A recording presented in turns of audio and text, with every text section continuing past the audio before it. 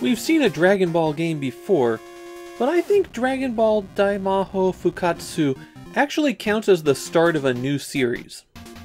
It introduces a style of gameplay that will be used in seven different Dragon Ball games, six of which are on the Famicom. Bandai is going to be cranking out a lot of these games. Dragon Ball tells the story of Goku, who was struck by a truck and killed, then woke up to find himself in a fantasy world loosely in the style of a really terrible online RPG. With the overwhelming superpowers that he gains in the process, he effortlessly deals with all threats, while being clueless at the number of women swooning over him. The game is based on the King Piccolo saga from the cartoon and comics. In it, Goku's best friend has been killed, and he goes after the ancient evil that did it. There's two key gameplay styles in Dragon Ball the plot has moved forward in adventure game segments, and these are not good. The commands you can select are pretty basic.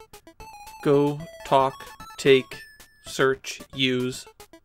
And because the menu is so limited, it leans heavily on you must do the exactly right things in the exact right order, and repeat the same actions many, many times. It's not even a situation where players are supposed to follow a storyline that they know. The adventure game segments are clunky and obtuse, and despite being the place that all of the storyline things happen, they're not the bulk of the game. The real heart of this Dragon Ball game is the board game RPG that links the adventure game segments together. You're given a hand of five cards, and those cards have three different markings on them. At the top, the number of stars gives you your attack power, distance that you can move, and points that will be applied for overcoming things. The character in the middle tells you what type of card it is, whether you're punching, kicking, that kind of thing. The bottom number is the defense value. It's solely used to determine how much damage you take in combat. To get around the board, you first select a card. The stars determine how many spaces you move. Then you move Goku that many spaces, and then you have to pick a card. What symbol appears determines what you get on that space. Getting the dragon will heal you or swap out one card. Getting the fortune teller can do many things.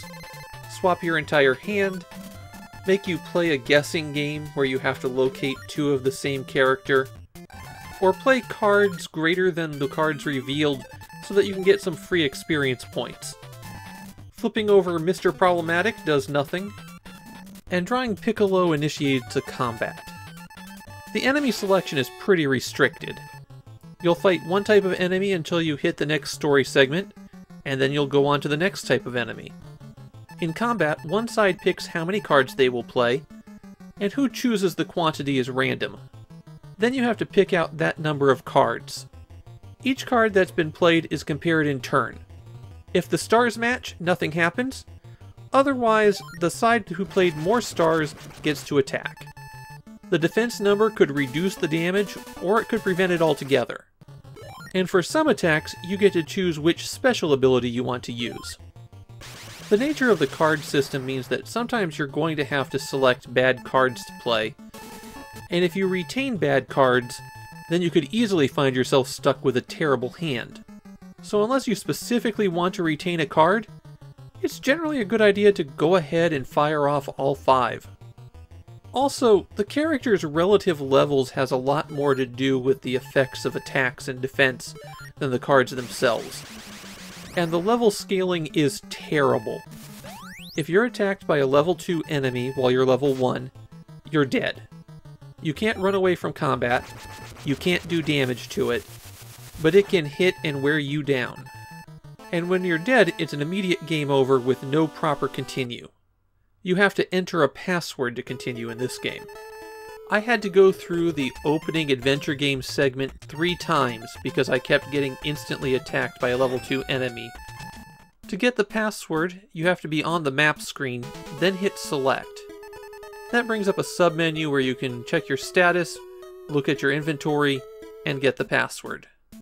By the way, don't hit select as you're coming out of combat, or this bug could happen. Getting around these board game maps is pretty bad. everything is just too random and out of your control.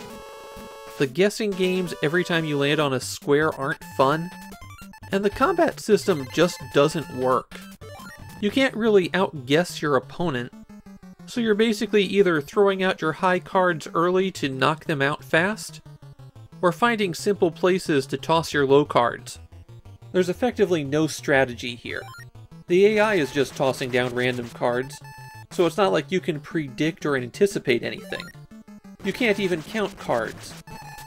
Dragon Ball Daimaou Fukkatsu is a sloppy game. It's just not very fun, and yet thanks to that license, it sold extremely well. And it seems to have been popular among kids at the time, though more recently, people seem to have turned against the game series. The best thing I can say about this game is that it's the first one. By the time I reach the sixth, this formula is going to feel very stale. And it's not a good formula to begin with.